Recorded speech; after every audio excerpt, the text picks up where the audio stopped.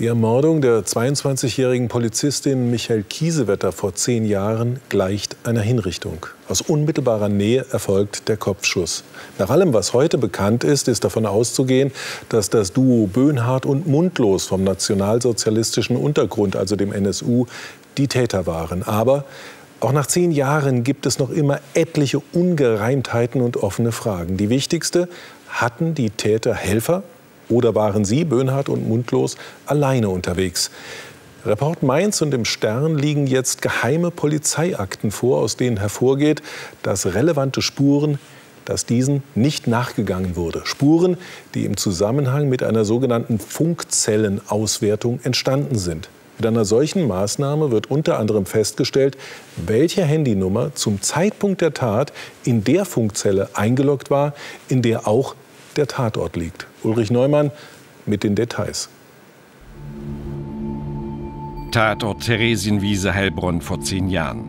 Ein Video rund 90 Minuten nach dem heimtückischen Mord an der Polizistin Michelle Kiesewetter und dem Mordversuch an ihrem Kollegen Martin A. Der überlebt schwer verletzt. Uwe Böhnhardt und Uwe Mundlos vom NSU sind die Täter. Das ist heute weitgehend geklärt, aber unklar ist, handelten sie allein Gab es Helfer oder gar Mittäter? Polizeiakten, die Report Mainz und dem Stern zugespielt worden sind. Sie sind als geheim eingestuft. Sie sind brisant. Sie zeigen, am Tatort waren Menschen um die Tatzeit, die man dort überhaupt nicht erwartet hätte. Petra Pau, Vizepräsidentin des Bundestages und Obfrau der Linken im NSU-Untersuchungsausschuss in Berlin. Sie ist überrascht und nicht nur das. Besonders empört mich allerdings, dass dem NSU-Untersuchungsausschuss, das ist ja schon der zweite inzwischen im Bundestag, diese Fakten bisher vorenthalten wurden. Worum geht es? Es handelt sich um Polizeimaßnahme 203. Das ist die Auswertung der am Tatort erfassten Handydaten. Hunderttausende sind das. Aus diesem Datenwust werden die Nummern selektiert, die um die Tatzeit in Heilbronn eingeloggt waren. Das Bundeskriminalamt schickt diesen Datensatz an Europol in Den Haag. Das ist die Strafverfolgungsbehörde der EU. Man will wissen, ob darunter Handydaten sind, die der Polizei bereits irgendwie bekannt sind. Und Europol wird fündig. Unter anderem werden neun Handynummern entdeckt, die von Ermittlungen stammen aus einem gänzlich anderen Kontext. Laut Akten handelt es sich um Handynummern der islamistischen Szene bzw. deren Umfeld. Was bedeutet das? Fragen wir den Kriminologen Professor Feltes, einen ausgewiesenen Kenner der Heilbronner Geschehnisse. Diese Personen können wertvolle Zeugen gewesen sein, sie können Mittäter gewesen sein, sie können Unterstützer gewesen sein. Also ich muss auf jeden Fall in diese Richtung ermitteln. Wenn man eine Nummer sehr nah an den Tatort bringen kann, sehr nahe an die Tatzeit und sie polizeilich bekannt ist, dann müssen diese Nummern natürlich auch im Einzelfall konkret überprüft werden.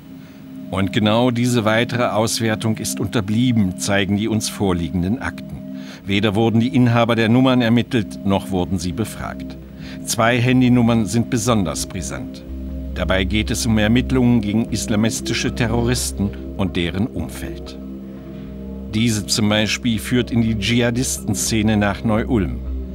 Drei Islamisten aus dieser Moschee sind im sogenannten Heiligen Krieg in Tschetschenien 2002-2003 umgekommen. Also, Neu-Ulm ist damals der Hort muslimischer Fundamentalisten. Und ausgerechnet eine Handynummer von hier ist beim Polizistenmord in Heilbronn eingeloggt. Eine überraschende Entwicklung. Trotz alledem muss man natürlich alle gegebenenfalls möglichen Verbindungen zu anderen Tatbeteiligten, mit welcher Motivation auch immer, abprüfen oder ausschließen. Und das ist schon, ja, um es mal vorsichtig zu formulieren, sehr ärgerlich, dass zehn Jahre nach dem Mord an Michel Kiesewetter das immer noch versäumt wurde.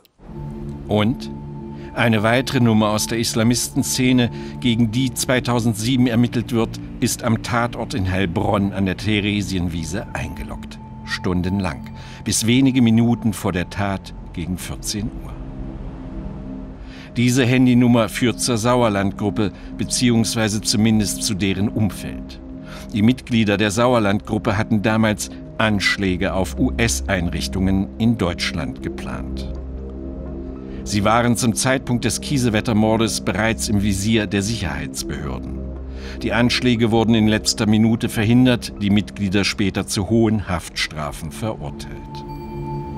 Mehrere Islamisten, möglicherweise am Tatort in Heilbronn? Wenn es hier tatsächlich einen islamistischen Hintergrund gibt, dann muss man die Frage stellen, wo ist die Verbindung? Geht es hier um Waffenkauf? Geht es hier um finanzielle Unterstützung? Geht es vielleicht sogar um eine Form der Kooperation? Das würde natürlich alles sprengen zu dem, was wir bisher angenommen haben und auch gedacht haben. Aber allein um das auszuräumen, muss man dieser Spur nachgehen. Die Bundesanwaltschaft beantwortet unsere Fragen nicht. Aus der Politik dagegen gibt es eine klare Forderung an die obersten Strafverfolger. Wir haben zum, ich weiß gar nicht wie viel, hundertsten Mal den Fall, dass die ermittelnden Behörden den Parlamentariern diese Unterlagen vorenthalten haben. Meine Erwartung wäre jetzt eigentlich, dass der Generalbundesanwalt schon einen Boten mit eben diesen Unterlagen losgeschickt hat. Ansonsten werde ich dafür plädieren, dass wir das als ein schweres Versäumnis im Abschlussbericht des Untersuchungsausschusses verankern.